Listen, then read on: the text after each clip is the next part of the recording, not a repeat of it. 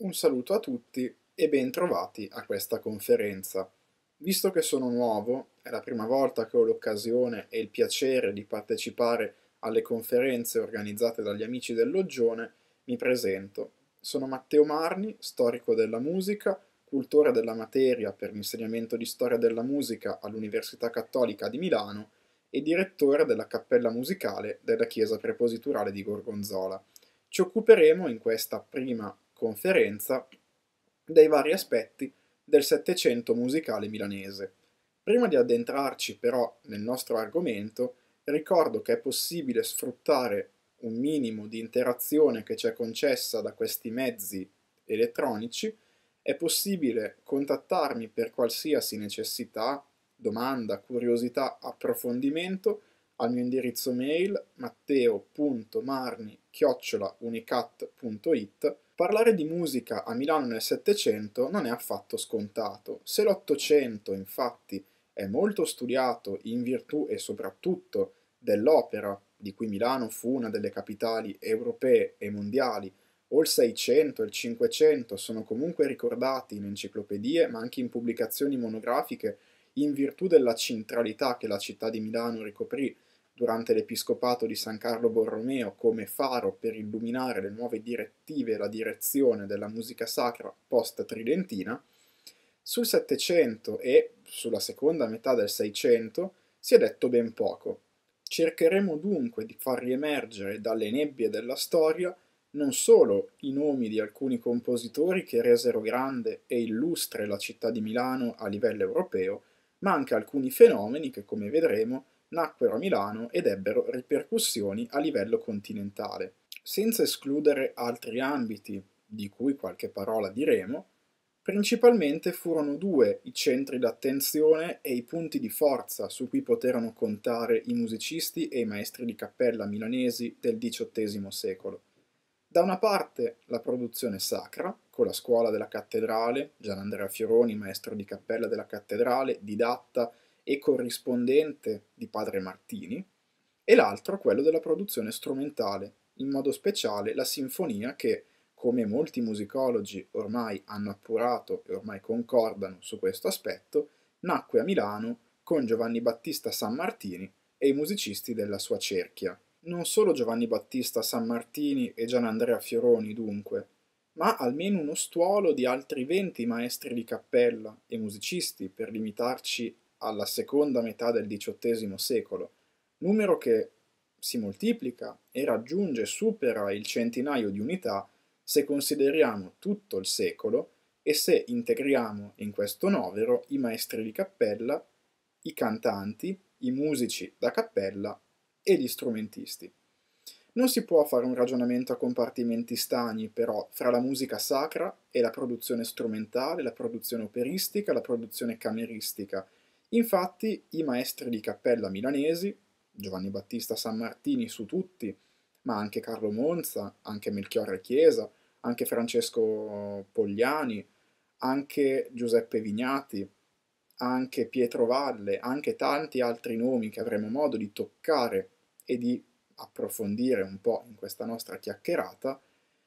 tutti questi personaggi dunque non si limitarono al solo ambito sacro, al solo ambito profano, i maestri di cappella a Milano operavano, si può dire, a 360 gradi. Prima dell'apertura del Conservatorio milanese, istituzione napoleonica fondata nel 1808, il titolo di maestro di cappella si conseguiva con lo studio,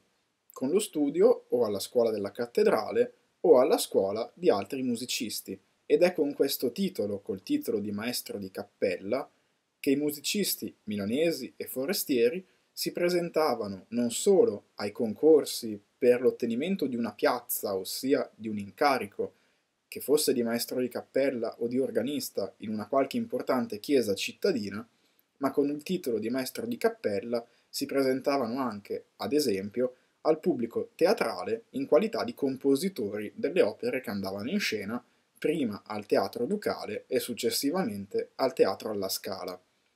La formazione dei musicisti milanesi fu in qualche modo locale, completamente locale. L'unico musicista del Settecento milanese che ebbe una formazione fuori dalla città e fuori dalla Lombardia, fu Gianandrea Fioroni, musicista originario di Pavia, che si formò negli anni 40 del Settecento a Napoli alla scuola di Leonardo Leo. Tutti gli altri milanesi, a partire dai nomi noti, Giovanni Battista Sammartini, Giovanni Battista Lampugnani, Carlo Monza, ebbero una formazione locale e cittadina. Il maestro di cappella era una figura dunque rispettata non solo dalla gerarchia ecclesiastica, ma anche dal, e soprattutto dalla committenza aristocratica. Erano maestri di cappella, infatti, ad occuparsi della vita musicale nelle numerose residenze cittadine e anche nelle ville di delizia che costellavano quello che attualmente è l'Interland di Milano. Affrontiamo subito una figura imprescindibile, quello che da tutti i manuali di storia della musica è ricordato come il principale musicista milanese del Settecento, Giovanni Battista Sammartini. Accumulò col passare degli anni varie piazze di maestro di cappella e se dobbiamo credere, oltre che ai documenti, anche a quanto raccontato da Charles Barney, musicologo, musicofilo e ricercatore inglese settecentesco che nell'estate del 1770 soggiornò per due settimane a Milano, San Martini divenne maestro di cappella di metà delle chiese di Milano. E concretamente possiamo leggere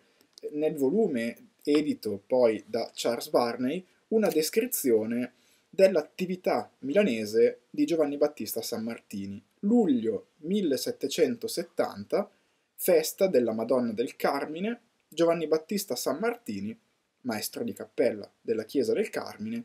viene sentito all'opera da Charles Barney e così possiamo leggere.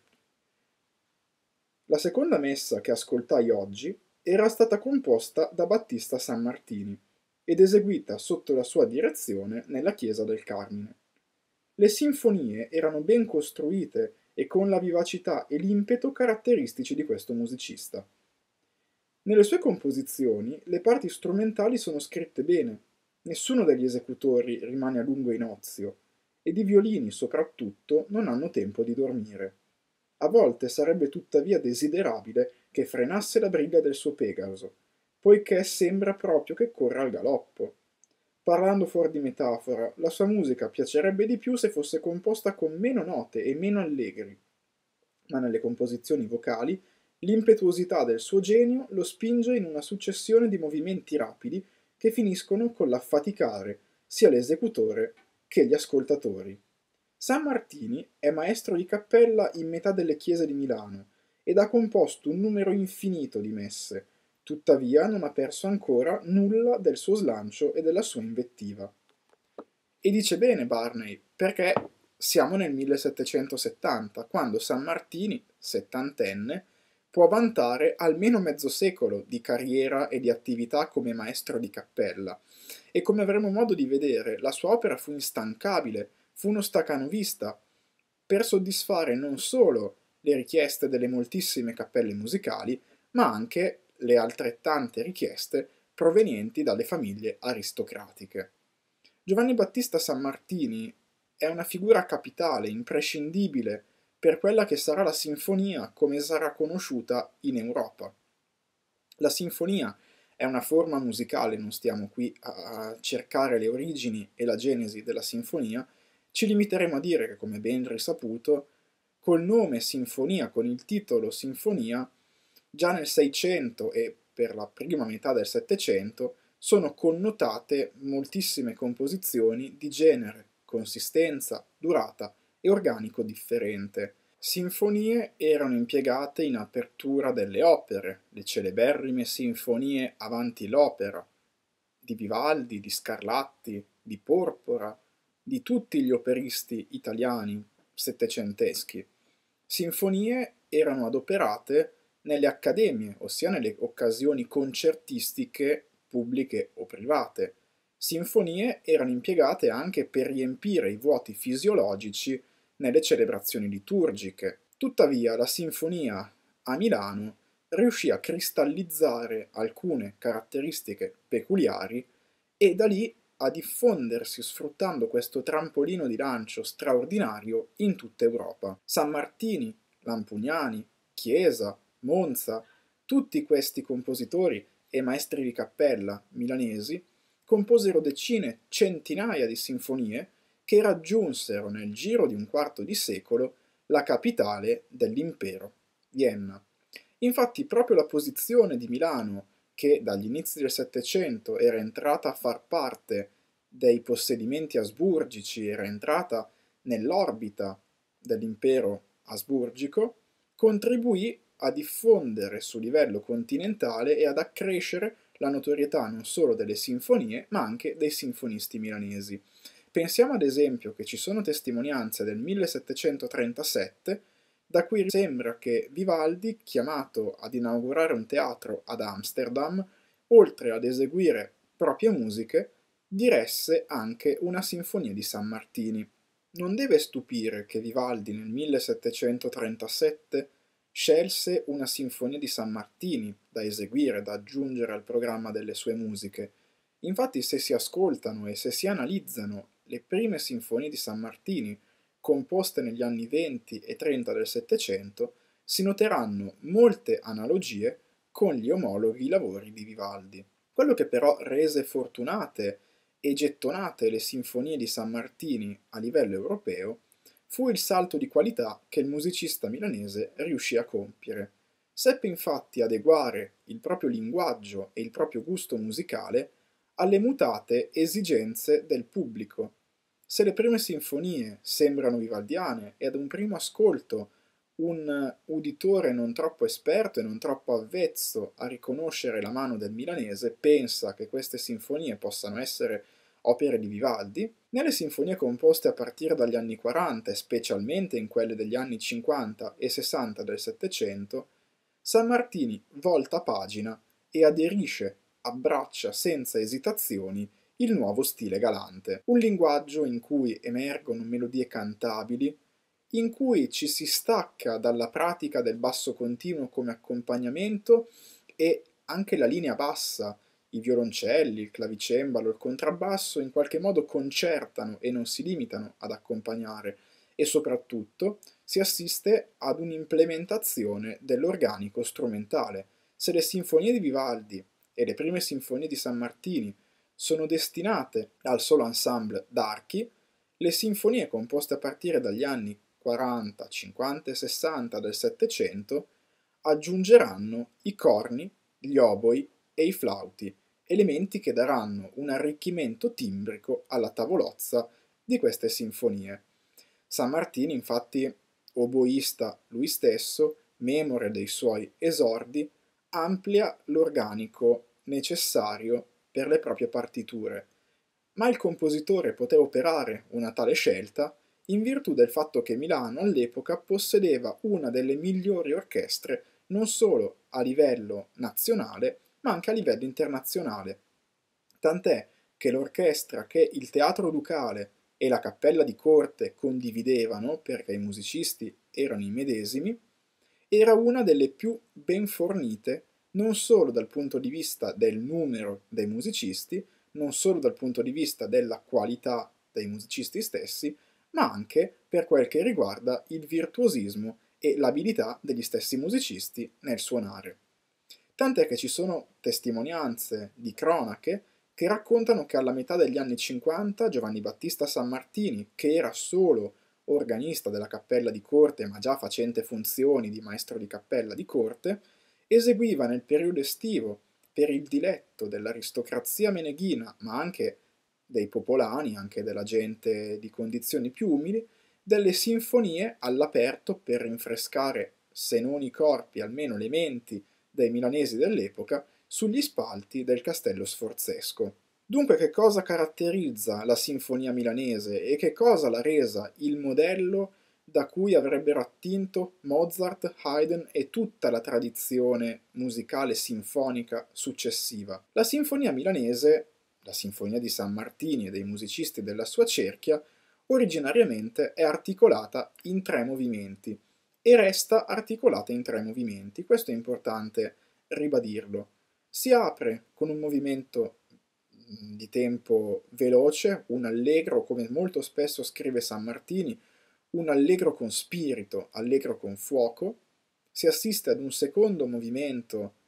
generalmente in tempo lento e generalmente in modo minore quando la sinfonia ha un impianto invece di tonalità maggiore e soprattutto un terzo movimento in tempo ternario. Nel terzo movimento proprio si vede l'evoluzione del gusto stilistico e del linguaggio musicale. Se infatti le prime sinfonie di San Martini, come quelle di Vivaldi, adottano come tempo finale un presto, quindi un tempo ternario ma veloce, a partire dagli anni 50 il presto sarà sostituito con il minuetto. Il minuetto è sempre un tempo ternario, una danza, meglio, in tempo ternario, ma è un elemento caratteristico della società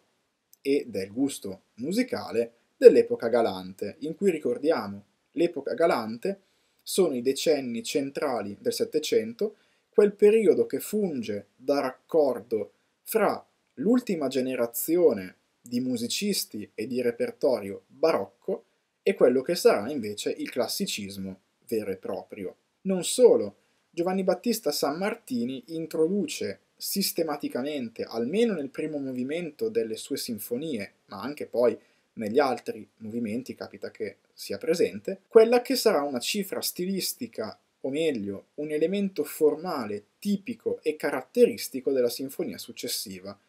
cioè la forma sonata, analizzando dal punto di vista formale i primi movimenti delle sinfonie di San Martini, si vede che il compositore ricorre sistematicamente alla forma sonata. Vi propongo ora l'ascolto del primo movimento della Sinfonia in Sol maggiore numero 39 di Giovanni Battista San Martini, una delle sinfonie più note e più eseguite in programmi di concerto negli ultimi anni del compositore milanese, in cui si può sentire il momento di congiunzione fra il periodo barocco, la prima maniera sammartiniana, quindi le sinfonie tra virgolette vivaldiane, e le sinfonie della maturità con un linguaggio più proprio dello stile galante.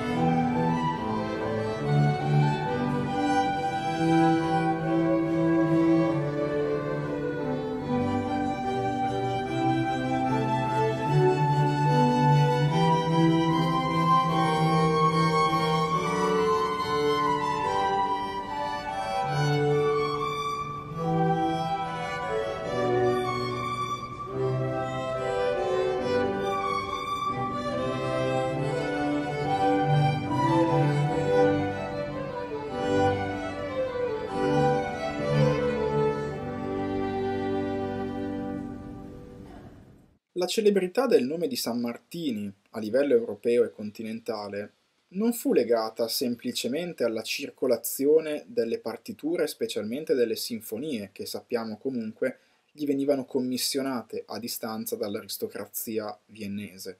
ma è legata anche all'esperienza di didatta e maestro che Giovanni Battista San Martini ricoprì e praticò instancabilmente nel corso della sua lunga carriera. Ricordiamo due nomi eccellenti, due su tutti. Il primo, negli anni 30 del Settecento, Gluck, che rimase a Milano quattro anni alla scuola di Giovanni Battista San Martini e si ricorderà del proprio maestro milanese all'interno di alcuni lavori strumentali e anche all'interno di quelle che poi furono le espressioni più tipiche e più proprie della sua creatività musicale, le opere, in cui alcune sinfonie introduttive di opere di Gluck sono prese direttamente da sinfonie di San Martini, e l'altro musicista, ancora più significativo, Johann Christian Bach, il più piccolo dei figli del grande Johann Sebastian, che fra gli anni 50 e 60 del Settecento, quasi dimenticando la lezione paterna, si trasferì a Milano, si fece cattolico Ottenne la piazza di, di, primo organista del Duomo per quattro anni, fu a sua volta maestro di cappella di alcune chiese di Milano, ad esempio Santa Maria di Caravaggio, e poi, forte della lezione milanese, si recò a Londra dove fece fortuna e dove, guarda caso, incontrò un bambino, un poco più che un bambino, in viaggio di formazione, che altri non fu che Wolfgang Amadeus Mozart così che Mozart indirettamente si può dire sia stato non allievo, ma comunque ricettore della lezione di Giovanni Battista San Martini. Tant'è che il piccolo Mozart all'inizio degli anni 60 ebbe modo di frequentare lungamente Johann Christian Bach a Londra e Johann Christian Bach a Londra era appena arrivato da Milano, fresco si può dire di studi e molto ben eh, ferrato sulla pratica musicale milanese, tant'è che alcune delle prime composizioni mozartiane che risalgono proprio a quel periodo sono ispirate sia nella forma che proprio nella conduzione delle parti, nella scelta degli strumenti e in altri aspetti dalla produzione di Johann Christian Bach. Quindi si può dire che anche Mozart fu indirettamente influenzato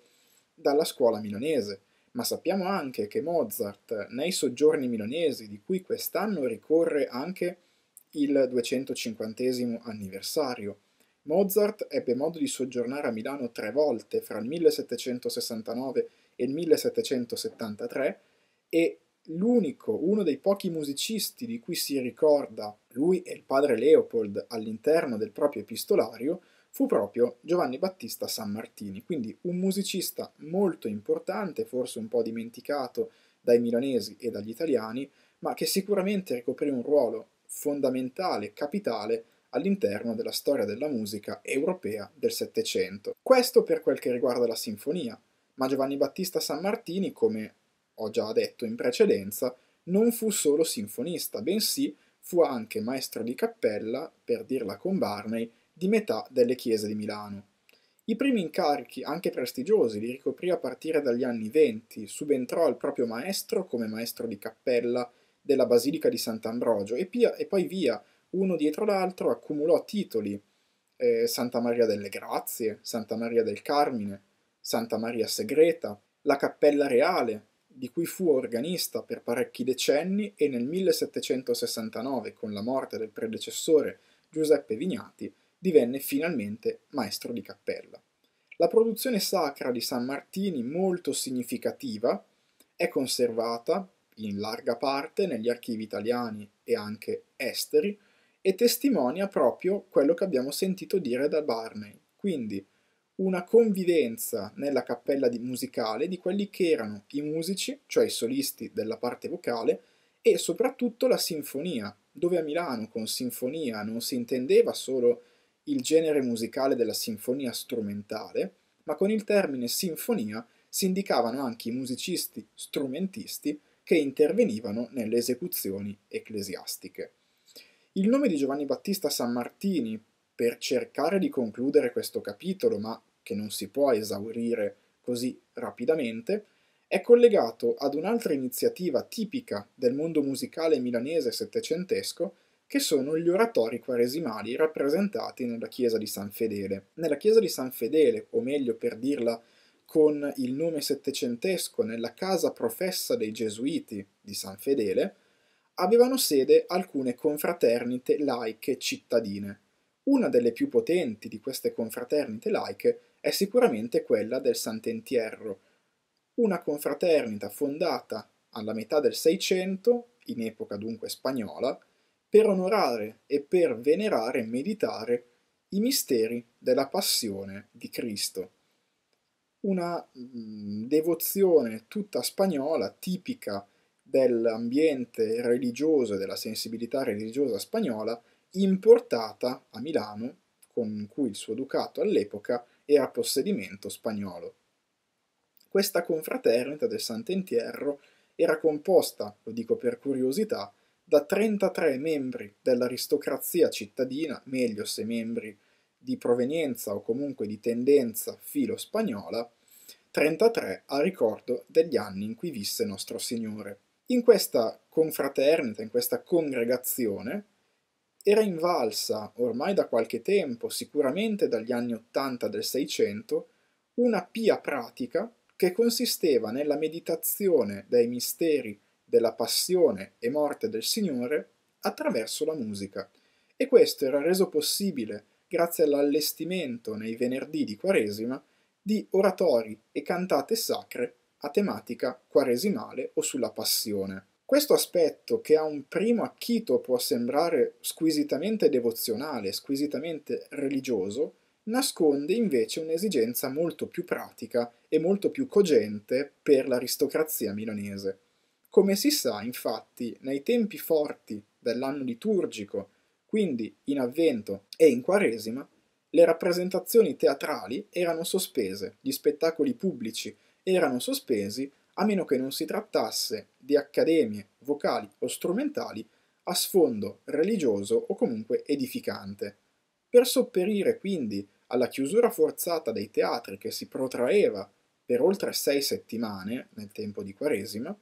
l'aristocrazia cittadina riuscì ad escogitare questa scappatoia che prevedeva l'esecuzione ogni venerdì di una cantata nella cripta della chiesa di San Fedele, nell'oscurolo, nella cappella sotterranea dedicata proprio alla contemplazione del Cristo morto. La carica di maestro di cappella della congregazione del Sant'Entierro, che era molto prestigiosa, molto ben pagata e molto ambita dai musicisti milanesi, fu ricoperta da Giovanni Battista Sammartini esattamente per 50 anni, dal 1723 al 1773, anno della soppressione della Compagnia di Gesù e di conseguenza della soppressione di tutte le confraternite che erano ospitate dalla casa professa di San Fedele di Milano. Giovanni Battista Sammartini compose dunque almeno 200-250 cantate quaresimali. Sopravvivono i libretti di molte di queste composizioni, ma purtroppo ci sono state tramandate solo le partiture di cinque oratori composti da San Martini. Tutto questo excursus non vuole essere solo un approfondimento un po' ozioso su uno degli aspetti della produzione di Giovanni Battista San Martini, ma vuole essere in qualche modo lo svelamento di un dubbio che è rimasto pendente e che consiste nella spiegazione del fatto che Giovanni Battista San Martini, nella sua lunga carriera, si è dedicato praticamente a tutti gli aspetti della musica vocale e strumentale praticati all'epoca, ma eh, non si è mai dedicato sistematicamente alla scrittura di lavori teatrali. Sappiamo che San Martini scrisse un'unica opera per il teatro di Lodi, in epoca giovanile possiamo dire, alla fine degli anni venti, il Mehmet, alla cui non seguì nessun altro titolo eh, teatrale. Il fatto, possiamo credere a buon diritto, eh, è che San Martini dovette dedicarsi letteralmente anima e corpo nella composizione di questo immane ciclo che si protrasse per il corso di quasi tutta la sua vita professionale delle cinque cantate annuali per eh, le celebrazioni dei venerdì di Quaresima della cappella del Sant'Entierro. E a questo proposito, prima di cambiare argomento ed arrivare a parlare più propriamente di musica sacra, ma la musica sacra non esclude qualche altro approfondimento sul teatro, sui cantanti da teatro e tutto quello che può essere legato a questo aspetto, voglio proporvi l'ascolto di un frammento di un'aria di una delle cantate quaresimali di San Martini Superstiti, il pianto delle Piedonne, andato in scena, debuttato, nel 1751 a Milano.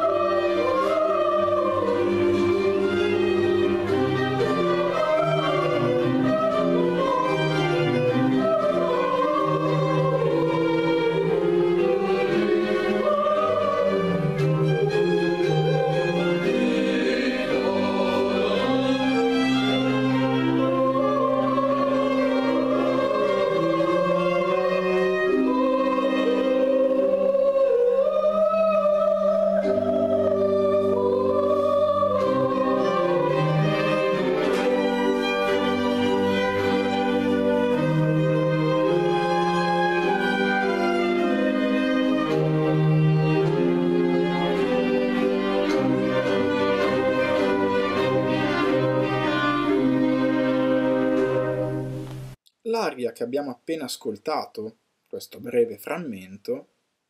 è interpretata da un sopranista. Questa scelta stilistica e consapevole è stata compiuta proprio per avvicinarsi il più possibile alla prassi esecutiva milanese settecentesca. Lo dico a beneficio di quanti ci stanno ascoltando, questa registrazione è una registrazione amatoriale dal vivo di un'esecuzione del 2019 del Pianto delle Pie Donne, l'oratorio di Giovanni Battista San Martini, eseguito dalla Cappella Musicale di Gorgonzola sotto la direzione di chi vi parla. Questa scelta, appunto, è stata consapevole e intenzionale. Essendo l'aria di Veronica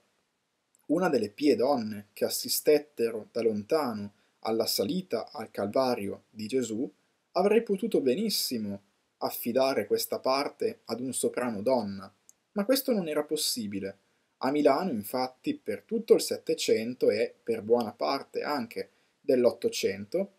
perdurò la pratica di annoverare fra le fila dei musici di cappella, cioè dei cantanti delle cappelle musicali, i castrati. Un mio studio recente, in fase di pubblicazione, si è occupato proprio di fare un conto, una stima di quanti evirati cantori, quindi castrati, musici, soprani o contralti, cantassero nelle cappelle musicali milanesi nella seconda parte del Settecento. Il risultato di questo studio è stato sorprendente. Ho censito oltre 30 castrati dediti principalmente e esclusivamente al servizio delle cappelle musicali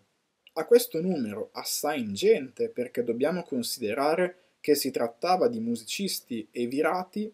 che cantavano solo in chiesa, come questi stessi scrivevano nelle lettere con cui cercavano di ottenere qualche piazza di musico soprano o contralto nelle cappelle cittadine, a questo numero, dicevo, bisogna aggiungere i soprani molto più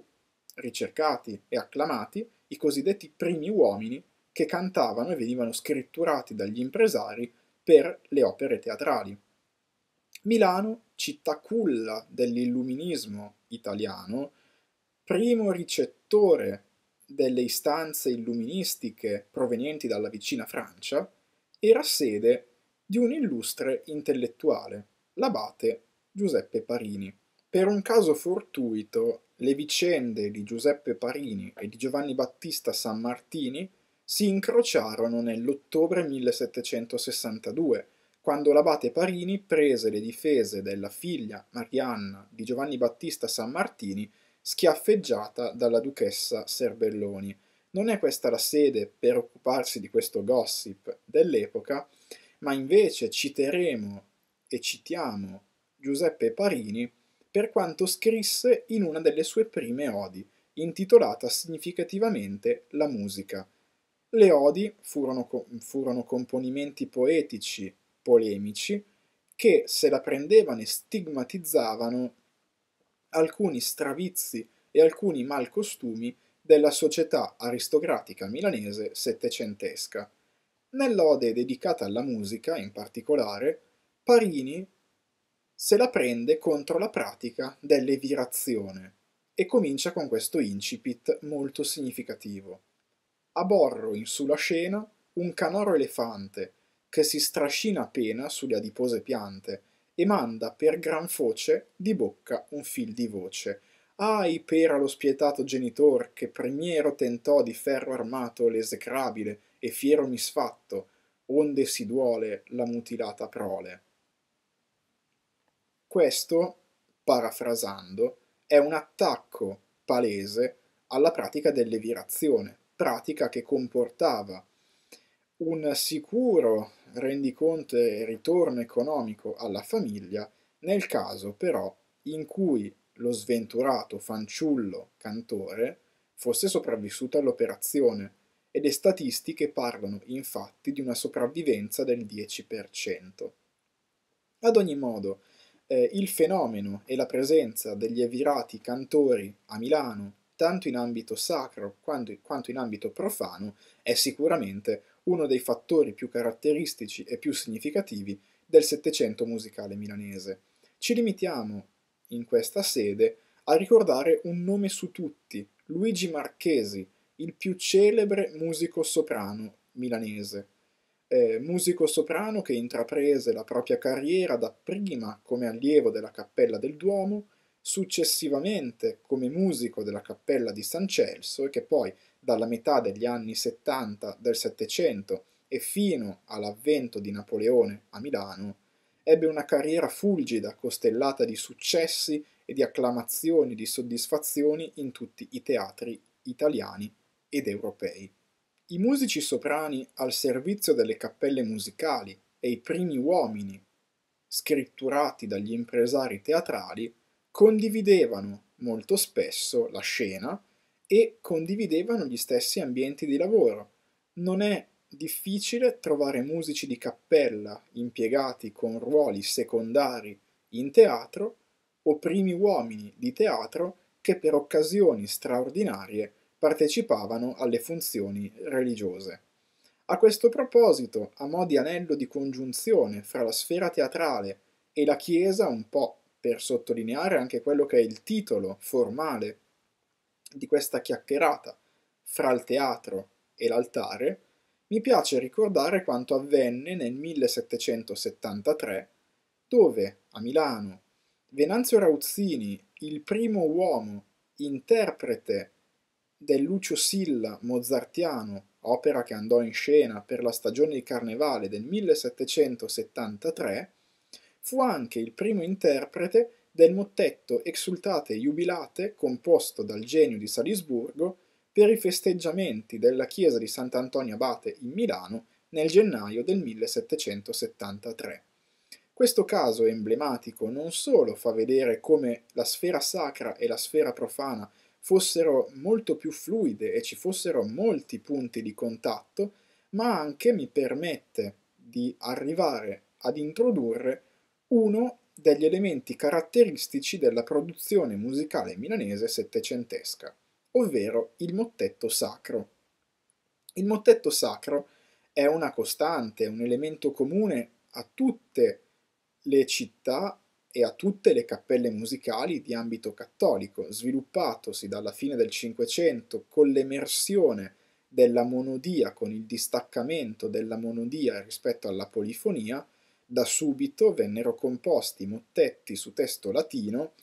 per riempire alcuni momenti, alcuni vuoti della liturgia. Il mottetto, tuttavia, fu a Milano uno degli elementi caratteristici della produzione sacra. In modo particolare, proprio l'exultate jubilate di mozartiana memoria fece scuola e dopo l'esecuzione del 1773, cui probabilmente assistettero anche maestri di cappella ed altri esponenti del mondo musicale milanese, il mottetto sacro ebbe una straordinaria fortuna, specialmente il mottetto per canto solo, cioè per soprano solo e organo concertante o soprano solo e strumenti. In modo particolare, uno dei maestri di cappella milanesi che all'epoca si stava affacciando sul lagone musicale cittadino, Carlo Monza, fece tesoro di questa esperienza e compose negli anni 80 e 90 alcuni gustosissimi mottetti per voce sola e organo concertante in cui sembra proprio di sentir riecheggiare quanto già composto da Mozart nel 73 con il suo Exultate Jubilate. Non solo Mozart, però, ma tutta una serie di autori cittadini locali che fecero scuola e che ebbero molta fortuna Gian Andrea Fioroni, l'ho citato in precedenza, ora arriviamo a spendere due parole su questo maestro di cappella, pavese, nato nel 1716, fra gli anni 30 e 40 si spostò, si trasferì a Napoli per perfezionarsi alla scuola di Leonardo Leo. Tornato in Lombardia, ottenne nel 1744 la carica di maestro di cappella del Duomo, carica che ottenne e mantenne per oltre un trentennio, sino alla morte avvenuta nel 1778. Gian Andrea Fioroni, a differenza di altri musicisti che lavoravano in altre cappelle musicali, fu in qualche modo obbligato a comporre la sua musica per i servizi liturgici quotidiani della cattedrale milanese in quello che all'epoca veniva definito lo stile osservato, lo stile grave e lo stile legato. Perché queste definizioni? Perché l'influsso inevitabile della musica profana sulla musica sacra si rese sempre più evidente e sempre più consistente dalla fine del XVII secolo. Nel Settecento, nella prima metà del Settecento, e poi via degradando per tutto il secolo XVIII e poi ancora nel XIX, il confine fra musica sacra e musica profana era molto labile. Il repertorio era distinguibile solamente per il testo che veniva intonato e se escludiamo esempi di contrafacta, cioè di composizioni nate per un uso profano, riadattate al tempio con un testo latino sacro, anche le composizioni composte pensando espressamente e in prima istanza per la Chiesa, non differiscono sostanzialmente, per quel che riguarda il linguaggio stilistico, da quanto si poteva sentire in accademia o in teatro. Tuttavia a Milano il Duomo rappresentava un baluardo e una roccaforte della tradizione musicale ambrosiana. Come si sa, la città di Milano conservava all'epoca una particolare condizione celebrativa, dettata dalla presenza contemporanea dei due riti liturgici, il rito ambrosiano e il rito romano. Il rito ambrosiano veniva officiato nelle chiese diocesane, mentre il rito romano era seguito dalle numerosissime chiese annesse a monasteri e a conventi officiati dal clero regolare. Se oggi pensiamo alla città di Milano e alla diocesi di Milano, in cui il rito ambrosiano va per la maggiore, è, è celebrato quasi esclusivamente il rito ambrosiano in diocesi di Milano, all'epoca non era così. Forse nel Forese era più facile che si celebrasse all'ambrosiana, come si diceva, ma in città la condizione era di parità. Infatti, delle oltre 200 chiese attive a Milano e officiate a Milano prima delle due tornate di soppressioni del 1782 ad opera di Giuseppe II e del 1796 ad opera dei francesi, di queste 200 chiese, la metà esattamente era officiata da comunità religiose, di, di religiosi regolari, quindi in rito romano, l'altra metà da comunità parrocchiali affidate al clero diocesano, quindi di rito ambrosiano. Questa condizione particolare comportò la creazione di una scuola musicale milanese tale per cui si cercava di rispettare le peculiarità non solo di entrambi i riti, ma anche di entrambe le esigenze liturgiche. Cioè, rifacendosi ancora al periodo del Concilio di Trento e alle prescrizioni imposte da San Carlo Borromeo, strenuo difensore della liturgia e promotore della nuova sensibilità musicale post-tridentina, che fu uomo di peso al Concilio di Trento, ma che poi ebbe un glorioso episcopato milanese sulla cattedra di Sant'Ambrogio, San Carlo nei sinodi diocesani istituiti da lui stesso si occupò di liturgia e anche di musica sacra, arrivando a ribadire e a sancire in qualche modo il primato del testo sulla musica, il primato della parola sulla melodia. Che cosa vuol dire? Secondo San Carlo la polifonia, che veniva comunque conservata in ambito cattolico e si era sventato il pericolo che si era concretizzato di estromettere la polifonia e salvare solo il canto fermo nella liturgia cattolica, superato questo scoglio e questo rischio, San Carlo comunque decise, in modo molto tenace, di difendere il primato del testo sacro sulla melodia, quindi propose un nuovo modo di scrivere e di concepire la musica sacra polifonica. Musica sacra polifonica pensata in polifonia perfettamente verticale, in modo tale che senza contrappunto eccessivo, senza ingressi sfalsati, senza imitazione e senza figurazione eccessivamente ornata, il testo sacro fosse sempre comprensibile e pienamente intelligibile in tutte le sue parti. Questa caratteristica perdurò e perdurò a lungo, ma i maestri di cappella milanesi, che si trovavano a dover gestire contemporaneamente chiese di rito romano e chiese di rito ambrosiano, pensarono di ottimizzare questi aspetti e di unirli in uno stile musicale proprio di Milano, tale per cui la sinfonia, elemento caratteristico del mondo musicale milanese, della pratica strumentale milanese, si trovava ad eseguire ampi preludi sinfonici strumentali alle composizioni sacre e impreziosiva gli interventi del coro, delle quattro voci, che intonavano invece il testo sacro con melodie perfettamente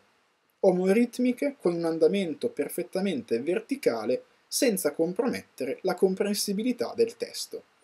Ascoltiamo dunque un esempio di questo stile musicale sacro milanese con l'incipit di un Gloria di Agostino Quaglia, musicista di cui converrà spendere due parole dopo l'ascolto.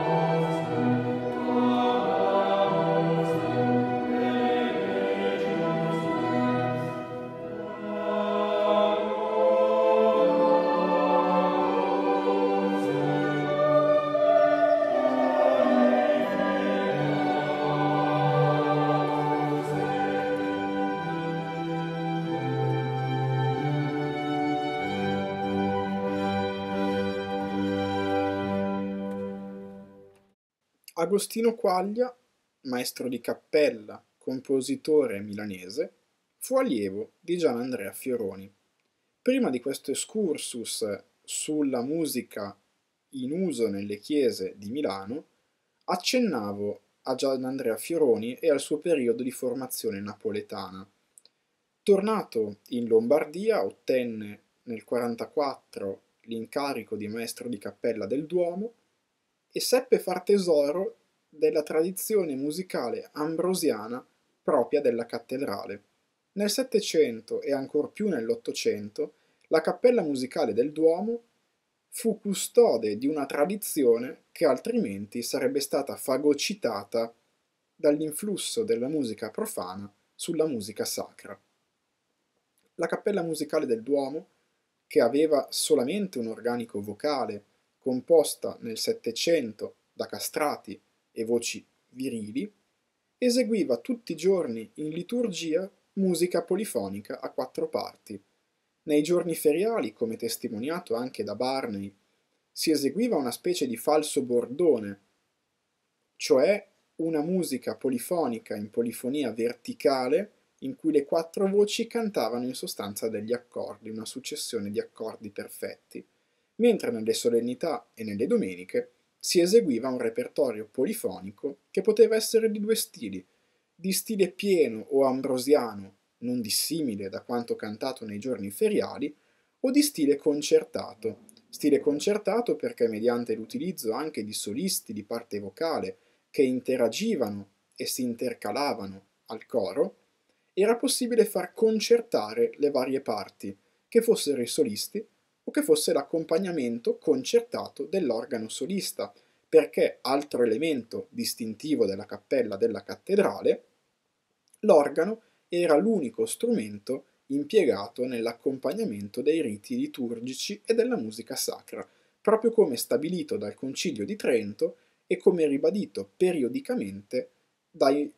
arcivescovi di Milano. Gianandrea Fioroni fu il corrispondente privilegiato di una corrispondenza epistolare di padre Martini, Giovanni Battista Martini, francescano bolognese, il più illustre, apprezzato e rispettato teorico musicale mondiale del XVIII secolo. Gianandrea Fioroni prima e Agostino Quaglia, che gli successe alla direzione della cappella musicale del Duomo, dopo il passaggio di Nicola Zingarelli, di Giuseppe Sarti e di Carlo Monza, i primi due noti compositori italiani, il terzo maestro di cappella milanese, Agostino Quaglia, dicevo, incarnò nella propria posizione e nei propri incarichi tutti gli aspetti del mondo musicale milanese, un po' un novello San Martini. Agostino Quaglia, infatti, cominciò la propria carriera negli anni 70 del Settecento niente di meno che come organista della cattedrale. Dal 1782 divenne maestro di cappella futurista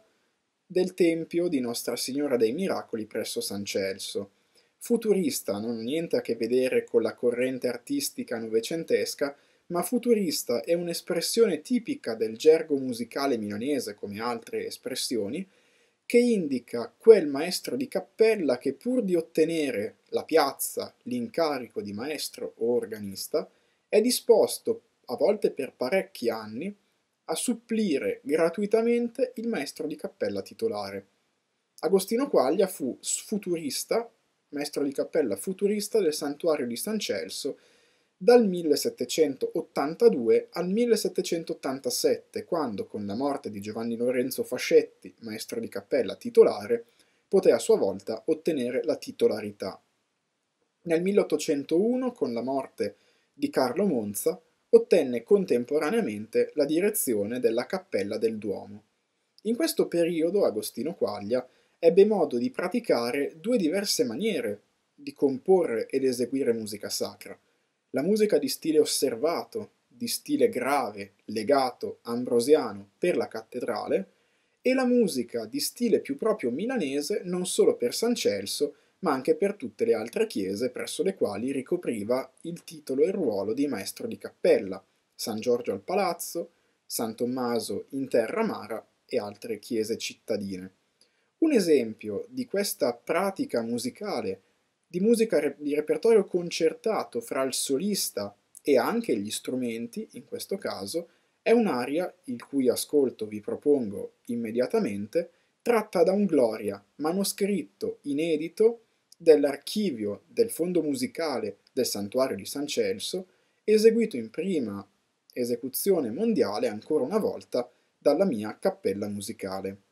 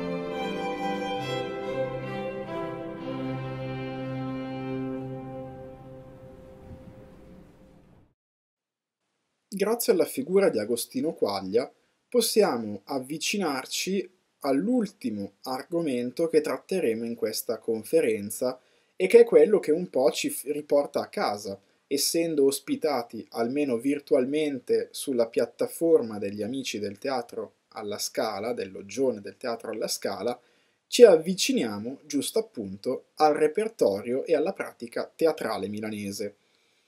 Non c'è bisogno di ricordare che il teatro alla Scala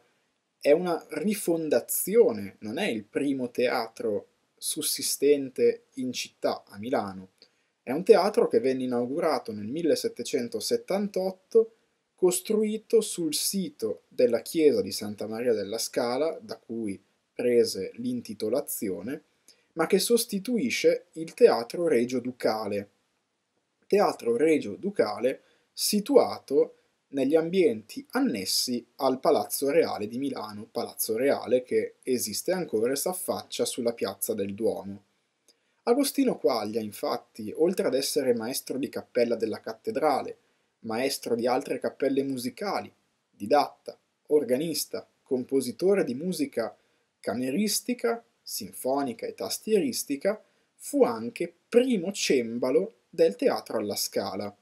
La carica di primo cembalo è una titolazione curiosa per la quale vale la pena di spendere qualche parola.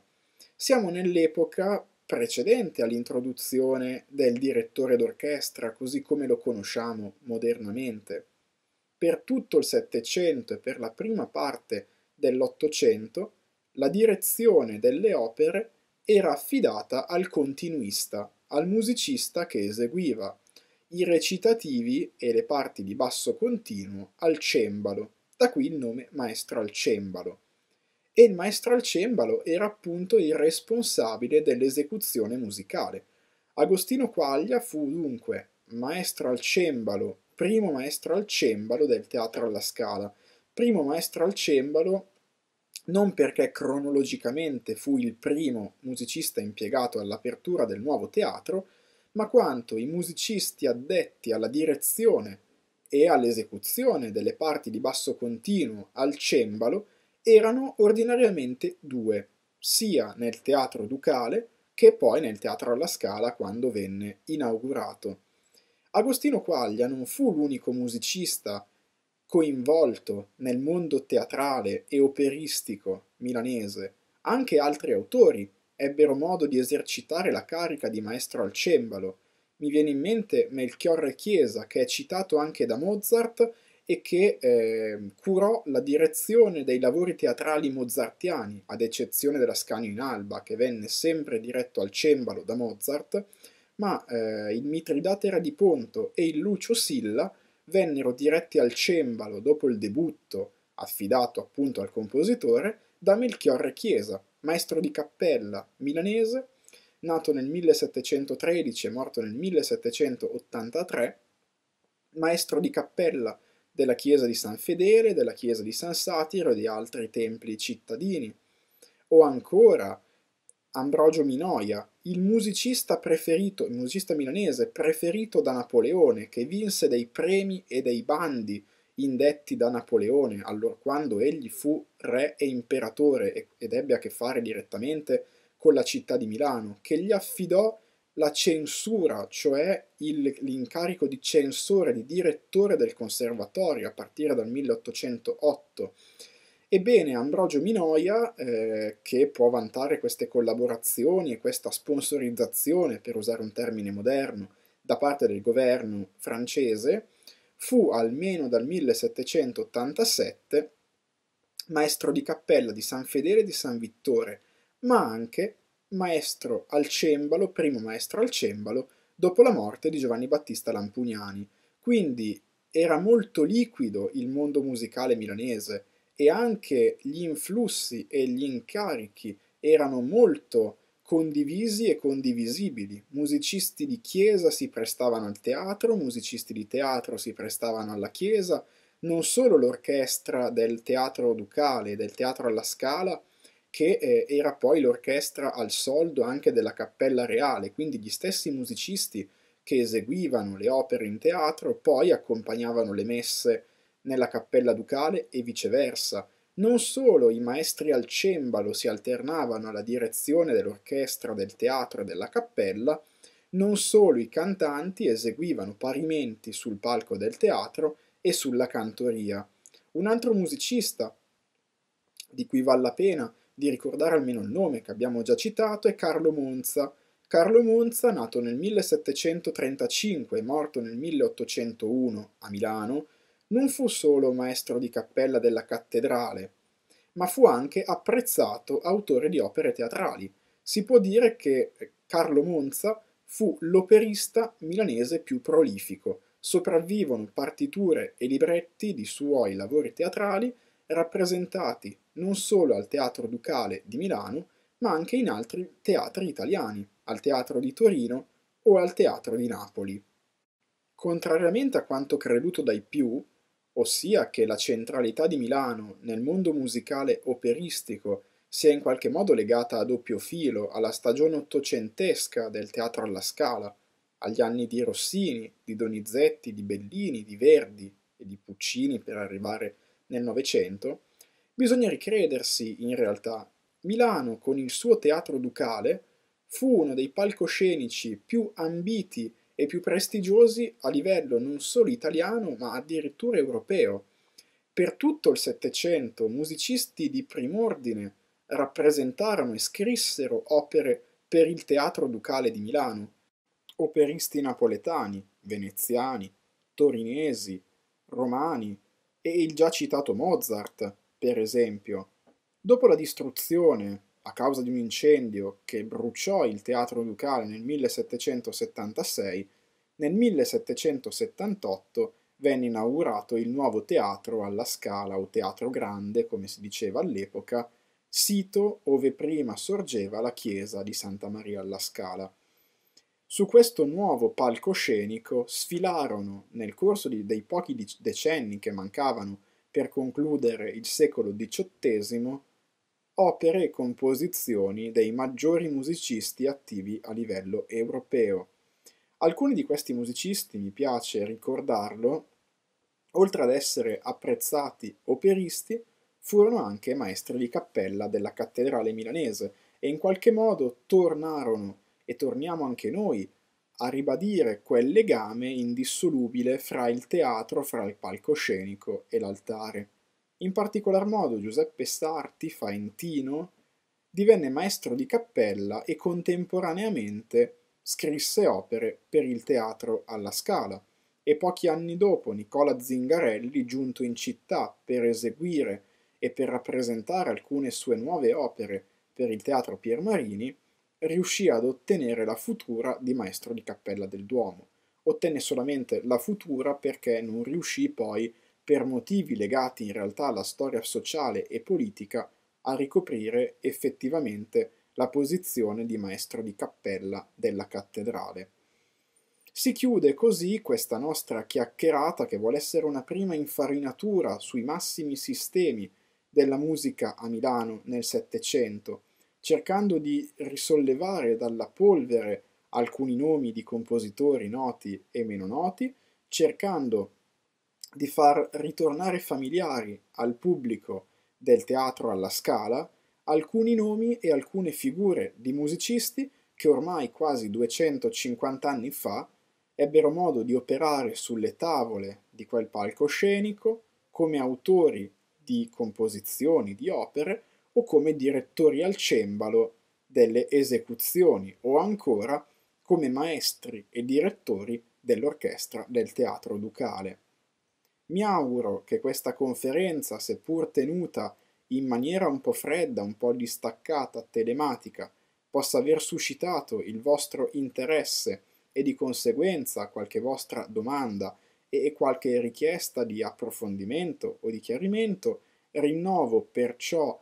la modalità per contattarmi via mail matteo.marni-unicat.it. Ringrazio per l'attenzione e arrivederci ad una prossima conferenza.